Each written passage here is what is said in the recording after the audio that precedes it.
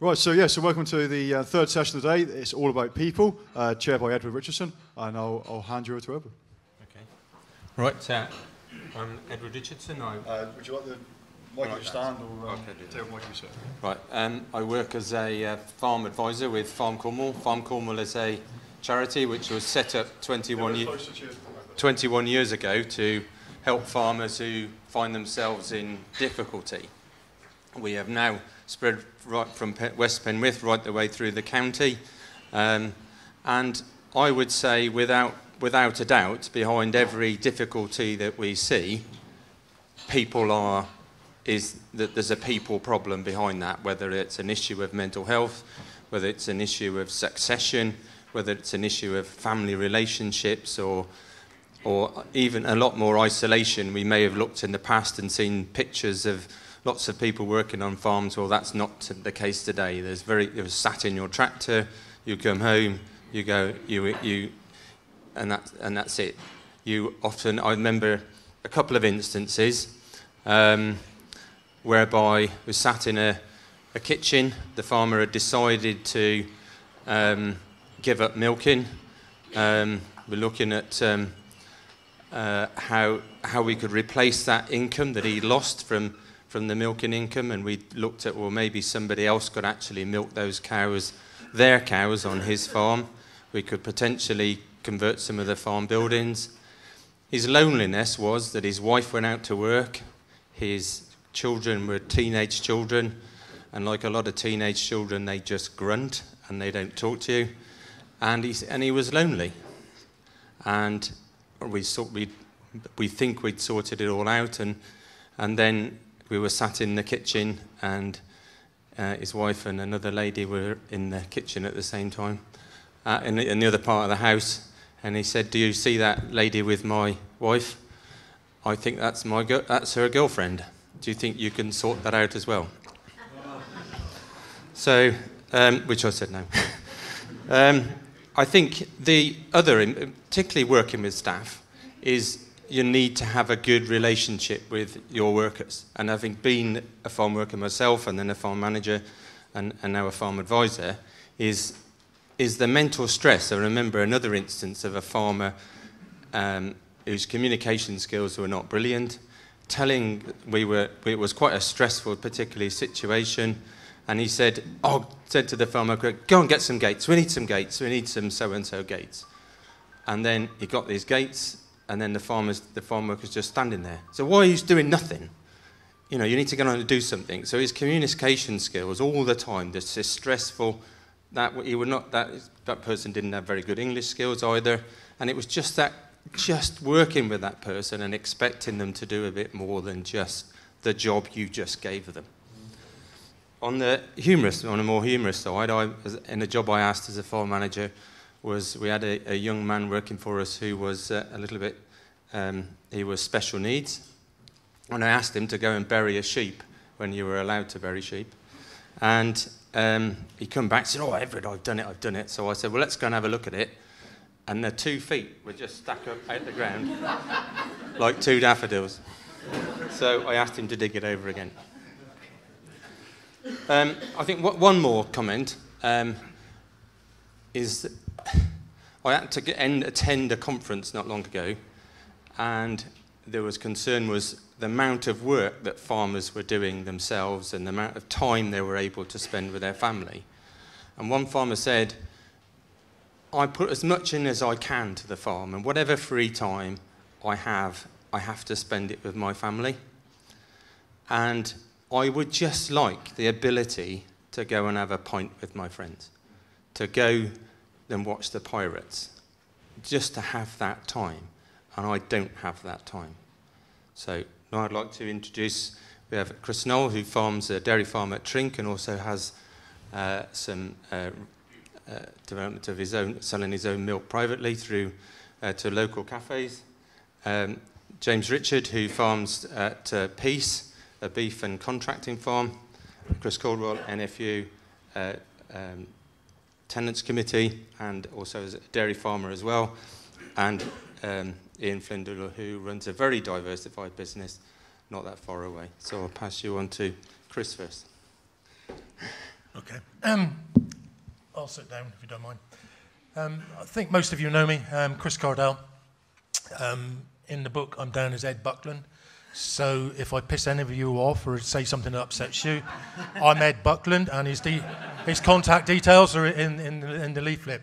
Um, Ed, Ed sends his apologies. Um, he couldn't make it today, but uh, we, Ed chairs the uh, local RABI, Cornwall RABI fundraising committee, and the wife and I have been on there for a number of years. He's asked me to come down, and then all of a sudden everybody said, "Well, can you talk on this? Can you talk on that?" So it's going to be a little bit of little bit of everything.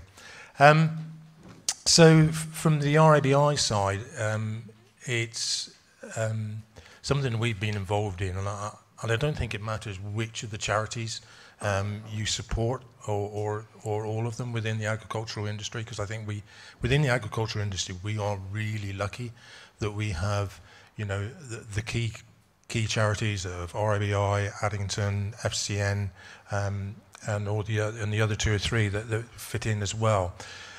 But they all talk to each other, and virtually all of the money comes from our own industry. There's very little money comes in from outside. We're actually damn good at supporting those of us within the industry that are in trouble. So I don't think it matters which you, you support, but just to give you a, just a few um, figures, just to give you what sort of comes into the county, Cornwall is always a receiver of funds um, from the RABI. We do our very best, and those of you that support us help us immensely. Um, but um, I think the figures up until the end of November um, for 22 was 194,000 pounds worth total spending grants and that's not including spending on mental health support in this county. Now we we raise a, you know a good number of thousands in this county, but we don't get anywhere near that. So uh, we are a receiver in this county, and it just goes to show um, what the challenges are. Just to, sort of a, at a national point, um, the RABI helped 253% more farming people and families than they did in 21. So just to show, okay, that that's COVID's going to be quite a bit of that line in there, but it just shows where it's going. And, and with all the challenges that are coming down the road, and we talked a little bit this morning about some of our smaller farms are going to be really challenged. Um, I think you know the charities are, are going to be well supported um, and well needed within the county. And just sort of give you a heads up. Um, I don't think it's hit press yet, but but just between us, um, we've been very lucky to be picked as one of the joint um, charities for Royal Cornwall Show this year as well. So um, hopefully that'll help us boost the thing. So you'll probably see us around. I know many of you supported our um, charity auction that Ed and his team put together uh, at the show, and that raises many thousands each year. Um, and I know you've you've done a bit of a star turn there as well on that one as well. So uh, thanks for all of you, and thanks for your support. So that's a little bit around the RABI um, and the sort of mental health work that they're doing. Ourselves, um, we're on our third county council small holding uh, at Probus. We started on a part-time uh, 50 acre unit over at Mitchell. We were then uh, lucky enough to move uh, to a neighbour dairy holding uh, at Mitchell. Spent a number of years there, uh, and then we're we're now down at Probus and being there, we're now going into our 18th year down at Probus. Um, when we started, I'm looking down the road now because your dad has a lot to answer for uh, how our sort of progression has gone. Because your dad was on the council uh, when we moved farms and was very supportive. Uh, um, you know, he's been a big lead, was a big lead to us through YFC days and also through Arla representation as well. Um, I can remember some uh, quite raucous Arla meetings um, in this country and abroad, but we won't go there. Um, but we we we moved to, into Probus, um, and that was slightly, I think, what um, you were just saying about the down farm lanes. Our, our, our, second holding was down a farm lane. It was a mile, mile long lane. It was quite a decent dairy unit, and, and it, st- it still is. Uh, our children were at school at the time. Um, like everybody, we had to find alternative income, so the wife went out to work. And I was the one that was at home. I was the one down that lane um, all the time. So I could relate to what you were saying there with, one of your last um, talks there. Um, and I think a lot of us down farm lanes find that. So um, the chance came along for us to, to move down to Probus, and um, the previous tenants had just started um, a diversification there of a, a, a boarding kennels and cattery. And I think, in essence, they started it out with, with, great venture, but for a lot of us as farmers, we don't do people very well.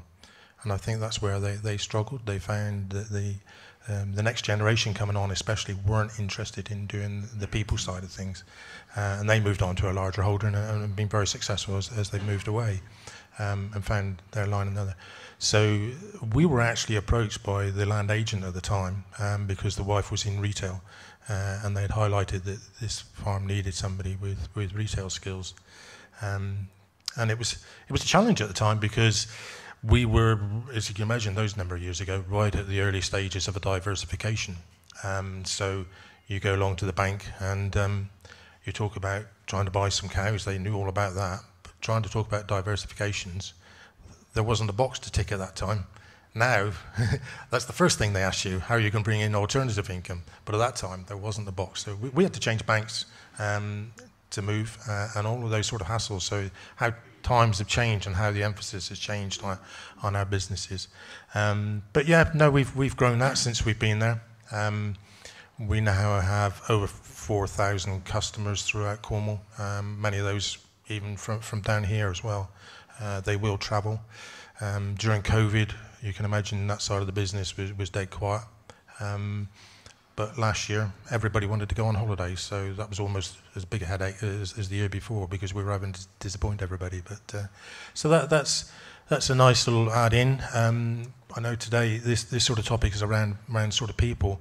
So within that side of the business, we we tended to bring in um, students. Um, many of those that have gone on to run their own businesses um, um elsewhere, and also to um, many of you know our daughter and son-in-law, um, Will Curtis and Jess, uh, run the Curtis Contractors down here.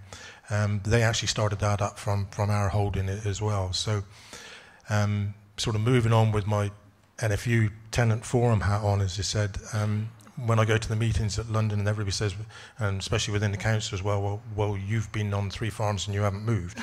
Um, we have tried. We've we've not been successful because, like somebody was saying earlier on, there there aren't many opportunities come up to move. But we tried. But um, the way I turn it around is, well, what has that holding delivered while we've been there? Uh, so we provided our family with with a business. Jess and Will grew their business from there, gone on to be very successful where they are. We've had four other people that have uh, gone on to start their own businesses as well. Plus, we are providing the service for over 4,000 people within, within okay, 80% probably come within a 20 mile radius. So, no, we haven't moved off. So, we don't tick the box to say that the county farms has gone in the old style of looking at it, but that county farm has delivered a hell of a lot for the neighbourhood uh, uh, and business. So it's one of those things that we've tried to, or I've tried to argue when I've been um, up at um, County Hall or, or even uh, sort of moving on to sort of tenant forum work. Um, I was asked to say a, f- a few words on that. Um, County Farms has always been a strong um, th- thing for me, um, and also to I've that has been slightly um, my way of release and meeting people, getting to know people. It's something to do off the farm, um, and it does involve the old pint or pasty, as you were saying earlier on.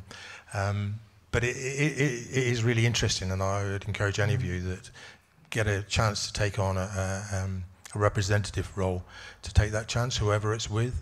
Um, I can remember within our sort of um, tenant work, we meet up with the institutional landlords on, on a regular basis. And the first meeting I, I uh, had to go to was at Buckingham Gate to meet with the uh, du- Duchy land agents. Um, and we sat down, uh, it's quite a it's, it's reasonably grand grand room, uh, their offices. Um, we sat down there, and the chief agent said, "Well, I've I've cleared my diary." He said, "We we can talk about anything." He said, but he put his one phone down. He said, "That phone's got to stay on." So we hadn't more than just sat down, uh, and this phone goes off. He said, "I've got to go out." So out, out he goes. And the, the assistant agent says, no, he said, that's the boss on the phone. Um, he said that's the only one that he, he, will go out the room for. And that just sort of gives an emphasis.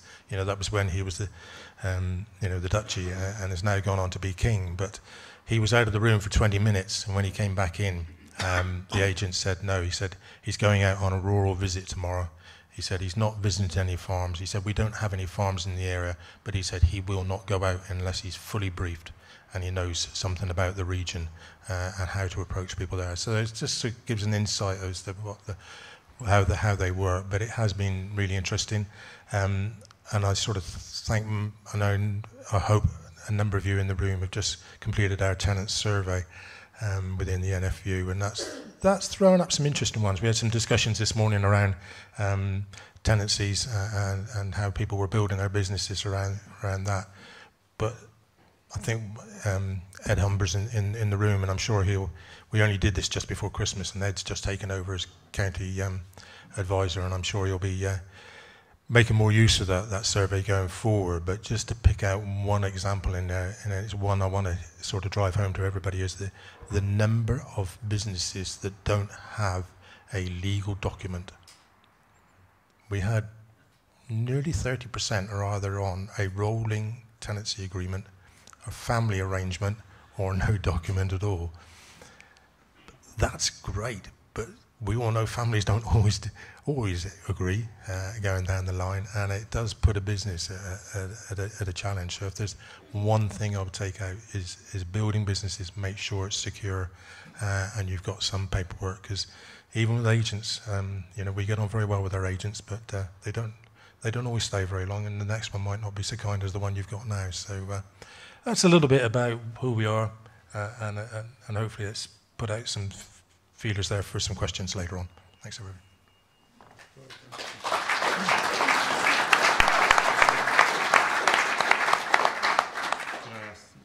we haven't got Mervyn, he's unable to come, so his father Ian is coming.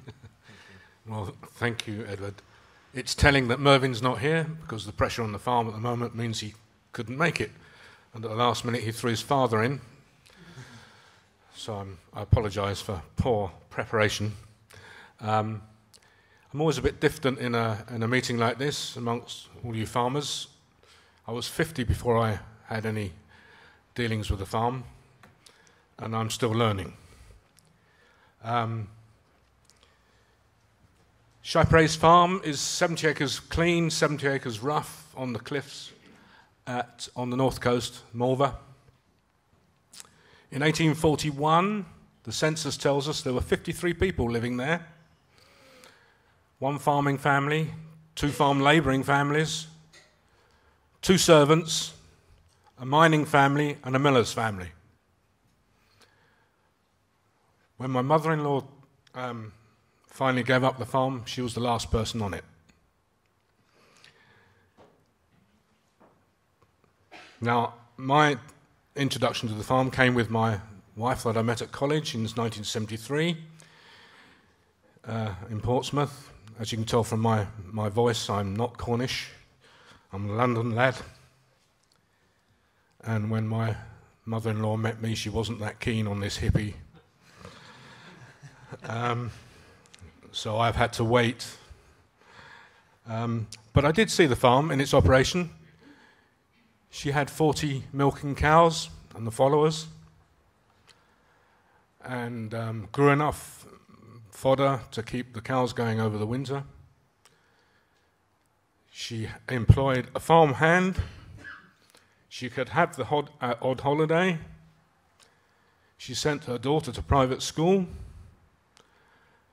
And it wasn't a bad life. When it came to us much later on, the buildings were derelict, there was no machinery, no stock, and no hope of making any money, enough to live on, at least, from 40 cows.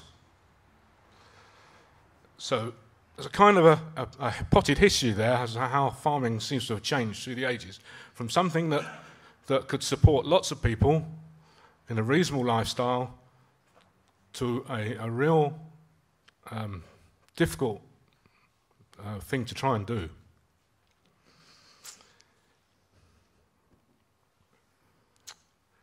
We, when we took it over, had one shaft of inspiration, which was well, maybe people want to know where their food has come from, how it's reared, what's the wel- welfare of the animals involved like. So we thought, well, maybe we could get a premium from producing locally and selling to local people and building up a, a customer, customer base. We didn't know much about rearing animals, so we started with pigs. And we developed a saddleback pedigree herd. Outdoor grown, of course, because that's what people expect from a welfare system. Turns out to be a very difficult way of rearing pigs, but that's what we do.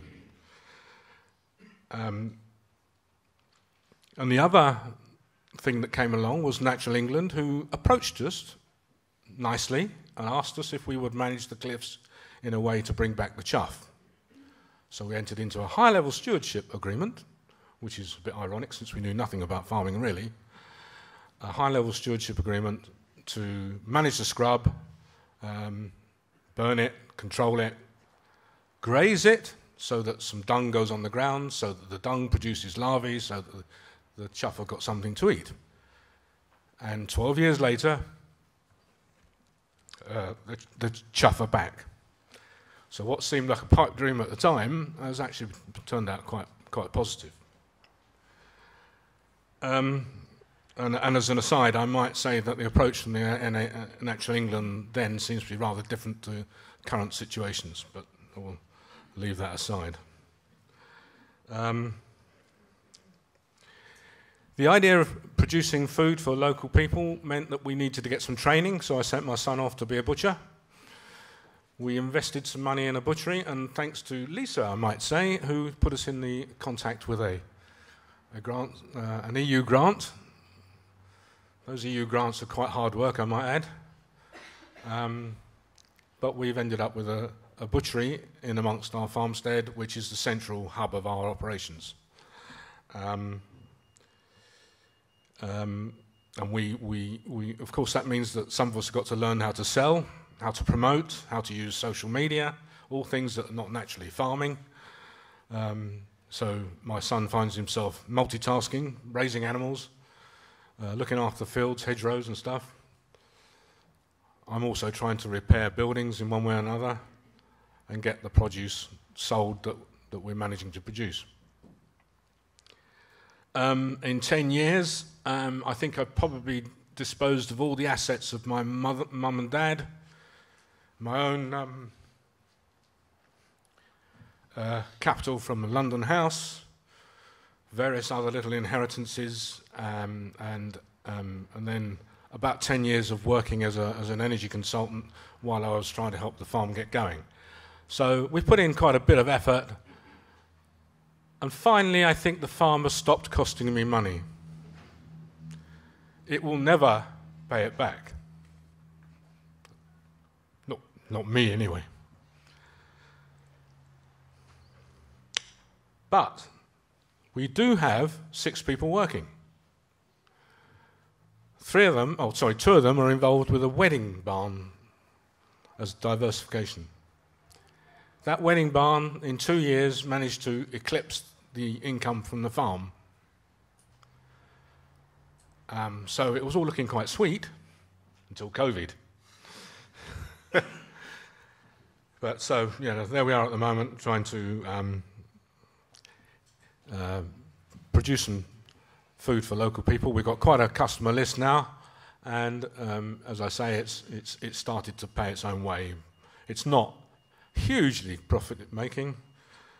And on the farm, there are six of us working, and three of us get paid. Um, all about people is what they're supposed to be, and, and, and there were guidelines as to what we do to manage people and, and um, um, motivate people. Motivation is interesting. Everybody sees through our billing system what's being earned. Not everybody would do that, but we do, so everybody can see what they're doing and how it's contributing.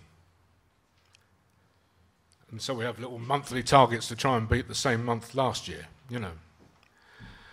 The difficulty, of course, recently is that if your costs are going up faster than your sales, uh, you quickly can overrun your, your profit margin. And um, the pigs have been a particular problem because, of course, they are dependent on into, uh, bringing in feed. That feed has doubled in price. Uh, our electricity, which is quite significant because we've got various chilling units and, and two houses to run and various things. Um, that is uh, a real concern. And, and then there's the cost of fuel, of course. So, you know, I'm running out of time. Okay, good. Well, there we are. Um, I haven't mentioned wildlife, which is an increasingly important part of our, our, our, our um, farmstead. Uh, we are very fortunately located near the beach, near a beach, near the coast, coast path. And on our farm, like many farms, there is a huge amount of heritage. There's mining heritage, there's natural heritage, there's archaeological heritage, uh, there's the full history of, of, of, farming going back to when it started, and, and that is something that I think we can make something of. After all, we do have a little car park and a little fee to charge there, so that's, that's me.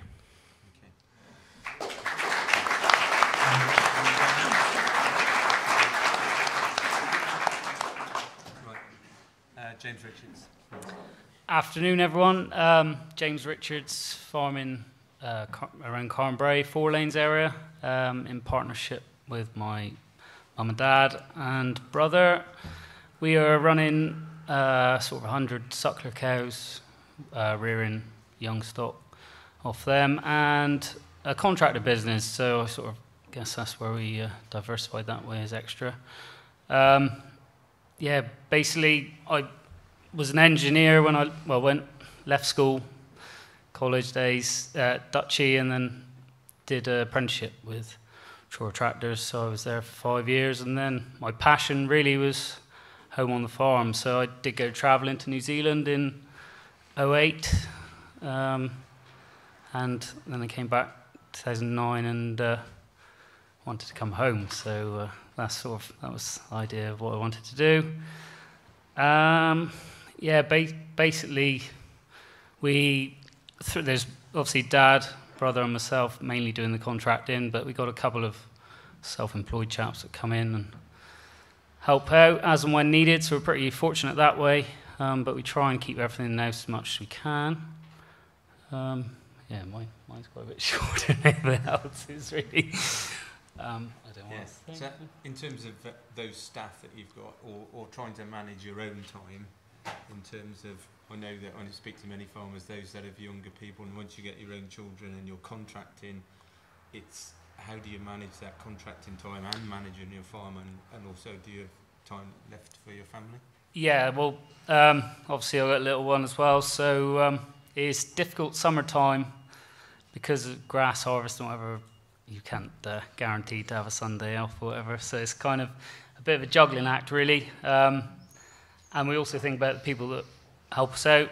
They've got a lifestyle as well. So, you know, if they want to go out that evening, we've got to try and work around that. Really, you can't expect, you know, it's, it's our business, it's our passion, if you know what I mean. They, if you don't look after them, they're not going to look after you in the long and short of it, really. So, um, yeah, treat them best we can. But winter time is our bit quieter time, I guess, really, other than the stock. So, um, yeah, we try and have like sort of a quietish Sunday afternoon if we can, just to, yeah, you, family time is important time really, and a bit, you know, a bit of uh, time for yourself, and yeah, mentally as much as anything else, I think, really. Otherwise, we're all guilty, especially if you live on the farm.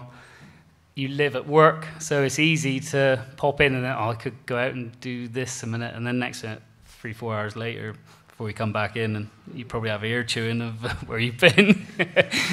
so yeah, no, you've definitely got to make time for it for sure. Chris? Yeah, can I have a mic? I'm, I'm going to stand up, I think, because um, I can see who's going to sleep then. Um, so all about all about people. Um, you know, I think that's a great title, really, because you know whether it's life, um, or, or, our individual businesses, our family farms, our, our businesses. It's all about people.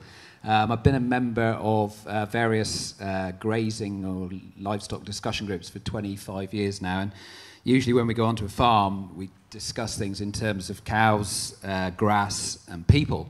And um, I've seen cows done pretty badly, and I've seen grass done pretty averagely. But if people are done either averagely or badly, then that business um, is on the back foot and it, and it struggles and it really doesn't go forward very well at all. So we've got to get people right. And when, when a business grows, um, it becomes even more important. Now, whether, you know, there's very few, um, you know, sole um, operators nowadays. You know, it's usually, a, you know, it's either a family business where there'll be more than one person involved, um, or, or a larger business with a larger number of people. Um, and the principles are always the same. Um, so a brief history from me. Um, as, as, Chris alluded to there, um, my, father, I farmed uh, with my father. I, I, I studied um, Seale Hayne uh, back in the late 80s, early 90s. Came back to the family farm, which was uh, basically about uh, 250 acres. Um, and we milked about 100 cows. Dad had a small uh, silage contracting business at the time. And basically had two full-time staff, uh, two part-time staff, uh, YTS student, um, and, and, a lot of that would have been would have facilitated him being off farm. Uh, he was involved with various things off farm. Um, when I came back, I was probably the grim reaper really because I got rid of uh, well the, the two the two part time were my my granddad and my uncle who who were retired, who then retired. They were retirement age, but the two full time um, we made redundant, and, and basically me and dad and a relief milker uh, took on the, the, work side of it. Did that for many years. Uh, we grew the herd, probably got up to around 200, 220 on that kind of system where it was just me and dad um, and, and, a relief milker. And you know, it worked really well because me and dad were kind of um, telepathic, really. We, we kind of knew between us, we didn't really need systems of. Uh, protocols, etc., that I have to try and do nowadays because we, we just intuitively knew what was to be done and, and, and did it. Um, but you know, sadly, Dad Dad passed away quite uh, suddenly and unexpectedly back in 2018, and um, you know, things obviously changed uh, overnight for us in terms of people and the farm. Um, now, the spring of 2019 was quite tough, quite wet. We, we, we calve all the cows, so the vast majority of the cows in the spring. By this stage, we got up to 300 cows. Um, and I remember, Rachel remembered the day we were, we were up to our eyes in it, really. And, um, you know, she said, oh, I think a load of yearlings got out somewhere. And she said, I think, I think we've got to change here. We've got to try and do something differently, people-wise. So I set about um, putting like a a different team together, really, to manage to manage the farm, to manage the business. Um, so basically, today, as we speak, we have on, on the farm side of it, um, we got two two full time staff um, and five part time, uh, plus me. so it's quite a few people, and I think that's potentially the way um, that we have to look at um, employing people uh, in this day and age. Um, the uh, the work-life balance thing, I think, is really it's, a, it's one of those kind of phrases that's very easy to say. We all know that we want to achieve it. We don't really know what it is, but we're kind of mindful of when it's not right. And what what I'm really kind of keen to see is that as an employer, I can help those employees to share in that kind of um, philosophy so that they too can achieve some form of, of, of, balance between what the amount of time they spend each week um, working and the amount of time that they spend with, with, an option of what they do with that time. Um, I mean, I think it, you know we see a lot on online nowadays of adverts for jobs, etc. And um, th- there was one recently that, that, advertised a dairy job as, um, you know, wonderful facilities, lovely house, etc., wonderful pay, I'd imagine. But it was basically um, the, the milking time start time was kind of 3:30 a.m. and the evening milking would finish about 7:30 p.m. And you were expected to do 11 milkings a week, which doesn't sound too bad. But I think that kind of traditional mentality of expecting someone to be turning up for work, ready to work at 3:30 a.m. Um, it, it is going to be nigh on impossible in, in the future. So, um, what have I done to to try and make this work for them as as much as me? We we actually did three years of milking the cows once a day. Uh, I'd uh, knew lots of uh, colleagues that were milking once cows once a day. Was obviously attracted to it socially because um, you know you take away that um, necessity to, to start the, the dairy day early and, and finish it later. And um, it worked. You know, we did, you know, the year after dad, dad passed away, for, for three years we did, we, we did once a day. It, it definitely worked. But we found that we were milking uh, more cows to try, and, to try and get it to kind of balance, um, putting a bit more pressure on the facilities, etc. And then last, uh, well, about 18 months ago, I became aware of a system where, uh, particularly done in New Zealand, where cows are milked 10 times a week. Um, so that's what we had to go at this year, and I've been absolutely delighted with it. And you know, I'd be quite confident that you'd ask my staff if they've been happy with it as well. Um, and I'm, I'm pretty sure they would say yes, because it, it just, you know, we're talking about the word balance here, and you know, the balance between milking cows uh, twice a day, every day of the year, or once a day, every day of the year, for me, is milking them 10 times a week. Um, and if anybody wants to kind of quiz me on that afterwards, because this isn't about milking systems, but if anybody wants to quiz me on how that works in reality, please, please do. But the, we've actually produced as much milk solids per cow this year by milking them 10 times a week as we did the last year. We milked them twice a day. So huge potential in that system. And one, one of the things around that system, and the Kiwis uh, are, big on this, is that it's weekend centric. So weekend centric, you know, my, the team at the minute is average age of about 23. And um, they are keen on their weekends. So to get them out of bed early on a Saturday or a Sunday morning is obviously a challenge. So with the 10 in 7 milking system, we, we milk at kind of 9:30 a.m. on a Saturday and 7:30 a.m. on a Sunday. So we by default then we've got this system that's more more attractive. Um, we do a system where we have uh, a weekend on, weekend off for, for, for, for all members of the team. Um, and on your weekend on, um, there'll be no afternoon work. So the weekend on is, is only um, kind of Saturday and Sunday morning, and the weekend off obviously is, is the whole Saturday and Sunday off. So again, quite attractive kind of system, situation. Um, the other thing I've made a note of is, is just to have sensible working hours. So I think, you know, especially with dairy, it's really difficult to create those sensible working hours. But even in a twice-a-day system, it's possible by having, you know, one team to do the morning shift and, and another team to do the afternoon shift.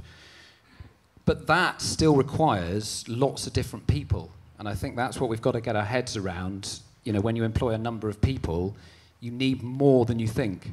You know, time people have holiday, illness.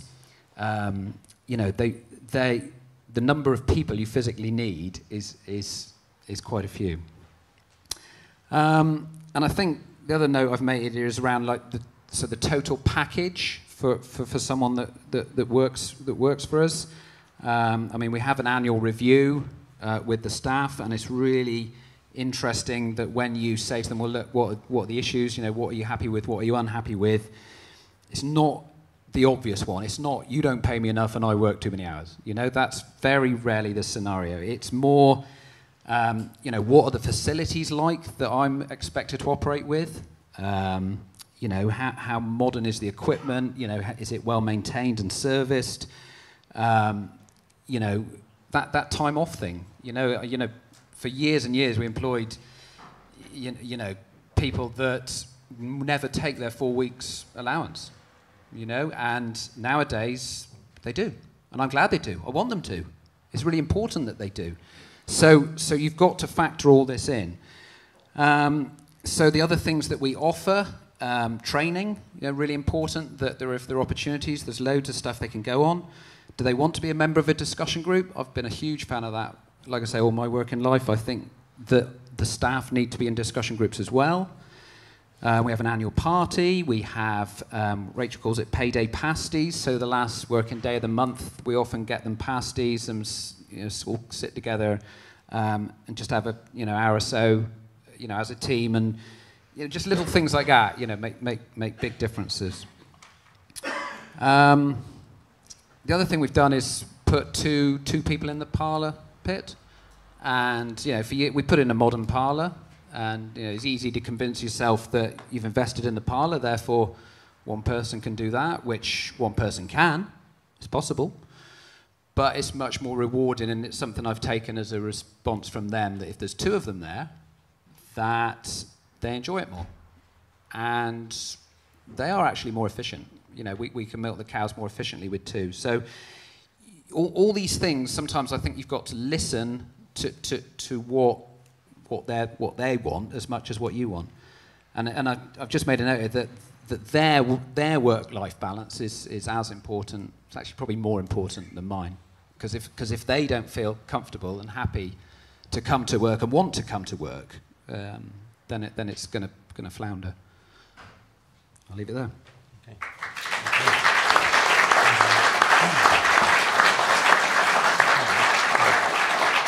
So, uh, I'm conscious of time, but questions from the floor, please. Lisa. Yeah, sorry. Um, it's, a, it's a question for Chris. Um, so I think this session, as um, we've all you know, said, it's all about people. It's really, really important um, for the productivity of the farm, the general well-being and mental health of everybody. Um, I'm just curious because I also think it's about all about the animals as well as the land. And I'm just curious whether you feel cows get a sense of time out as well at the weekends. They get out at weekends. I don't know about time out. Um, do the cows? I mean, the cows. Um, yeah, cows are a creature of habit, a bit like we are. They love that routine, don't they? And and I know when I started this variable milking time system, that I had to work with them a bit to understand what they, how they worked, so as I could make it work for us. And the classic for that was that initially I wasn't allocating enough grass for them at night on the morning when we milk later. So uh, on the Tuesday and Thursday, we milk later in the morning. And, um, you know, from first light until kind of nine, half past nine when we got them in, they were at the gate because they thought it was milking time. So I had to learn to allocate extra feed, extra grass for them on that long, on the long night, as I call it, so as they, they had grass to go at from first light. So little things like that make a difference, um, but they adapt and and and they, they they get used to it. Yeah, we're like Chris. We're we're once a day, and I've been for for a number of years. Um, I think one of the points that came up this morning was about um, we need to learn, uh, or, or we need to go backwards and adopt old skills. I think skills we can learn.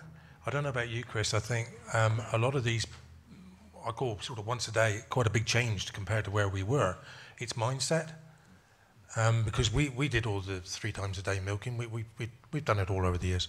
Um, but to change to, to go to, you know, like we were saying there earlier on, less is more. I think it's, it's, it's, a, it's a mindset as much as anything. And not everybody can do that mindset, but I think it's probably one that if we take advantage of, it's, it's, it reaps its rewards.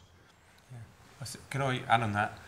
When I am asked to go to a farm, sometimes I would say to myself when I'm walking around the dairy for example, would I like to be a cow here? And sometimes I don't. You know, the lighting is poor, it's filthy, you know, there's plastic everywhere. It is not a good impression. And, and you, if it was a nicer place to work, the cows would be in a better condition and everything would be running better. And I think there is looking at how they looked after would enable you to be, you would work in better conditions yourself. Anybody else?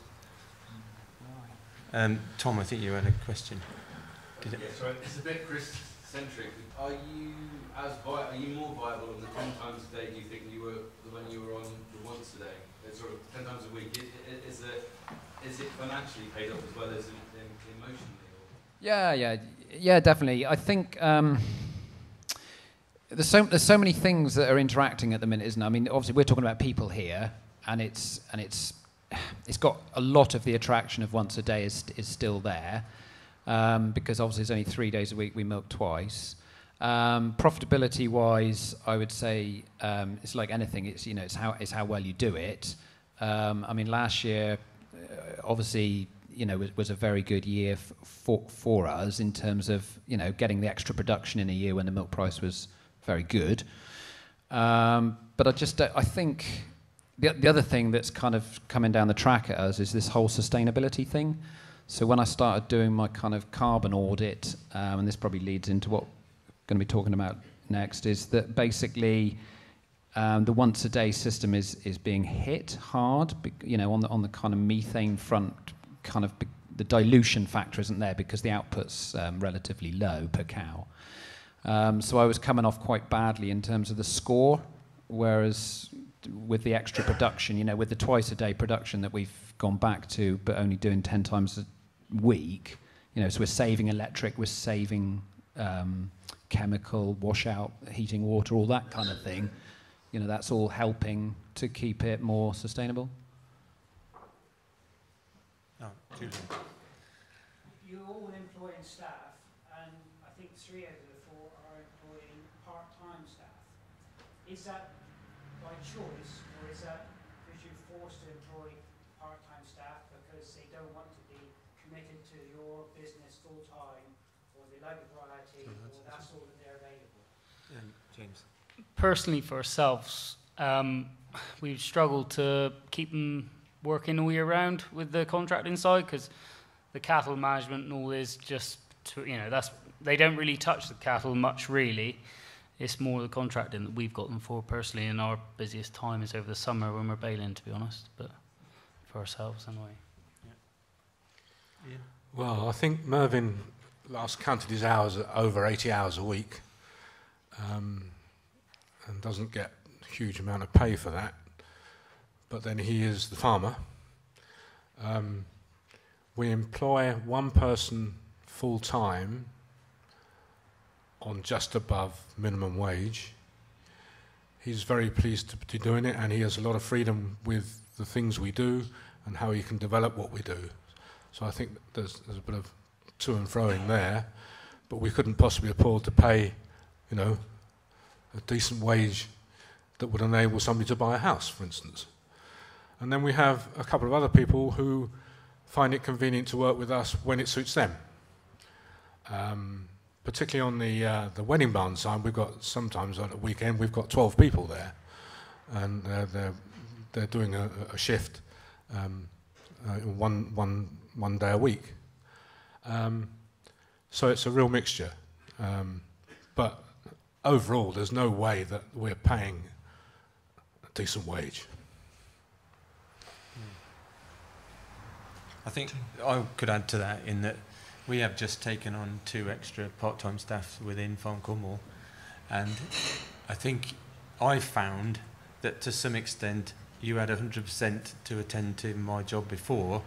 Now, although I've got more staff, I have to allocate some of my time to the management of those staff, which probably wasn't happening before. Anyway, Chris, you Yeah, um, we've well, it's slightly different. Two two sides of the business. So- the farm side is just myself uh, and a relief milker, and uh, we're up once a day as well.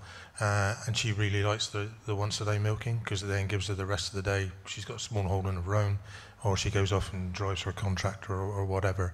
So that she finds the once a day really fits for her, uh, and I do the rest.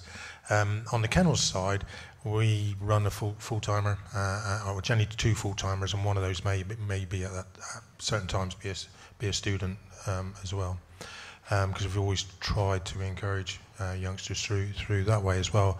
Um, but then on top of that, most of our part timers are young um, young girls normally, um, but young school leavers.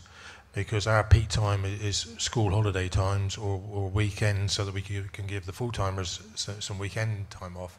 So we tend to use um, some, you know, local um, school leavers or, or, or school age for, for those times because in fact some of those have stayed with us then and, and go on to be the students so it, it works but um, it has the market has changed in that when we started um, we were using um, local farm kids you know, uh, on the doorstep. Because it didn't matter if it was tinsel ball the night before; they would turn up the next morning, even if they were throwing up in the corner, they would still be there.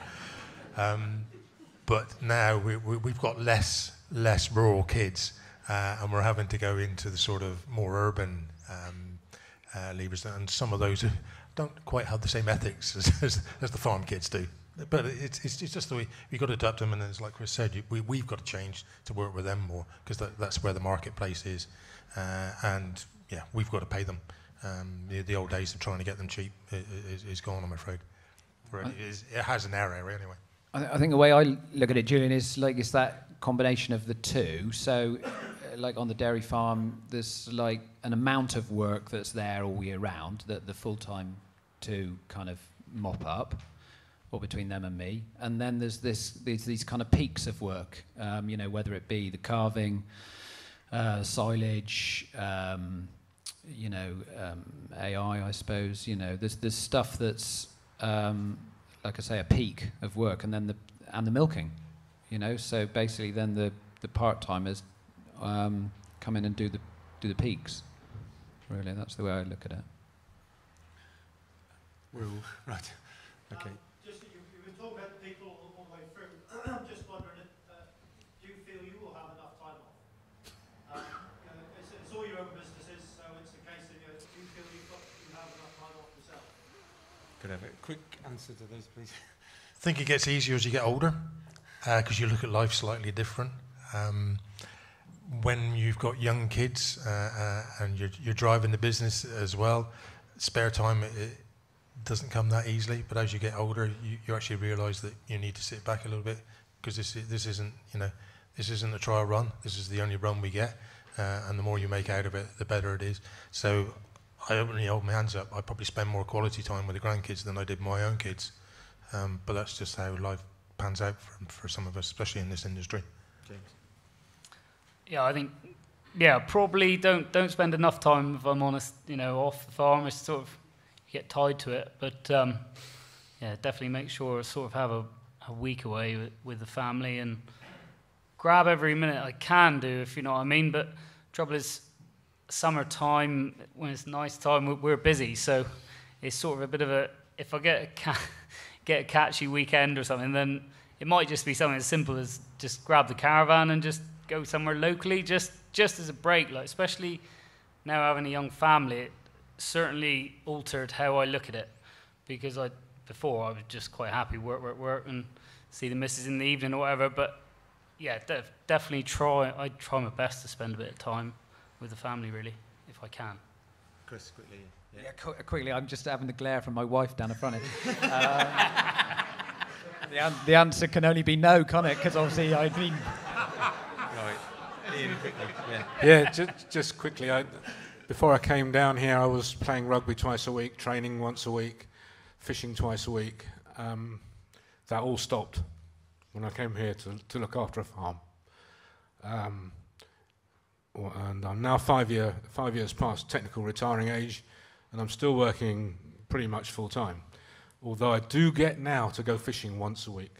Right, okay, right. Well, I'd like to thank our team um, for what they've said. There's some really thought provoking and, and, and, almost emotional points of view that they've made, and so thank you very much. And.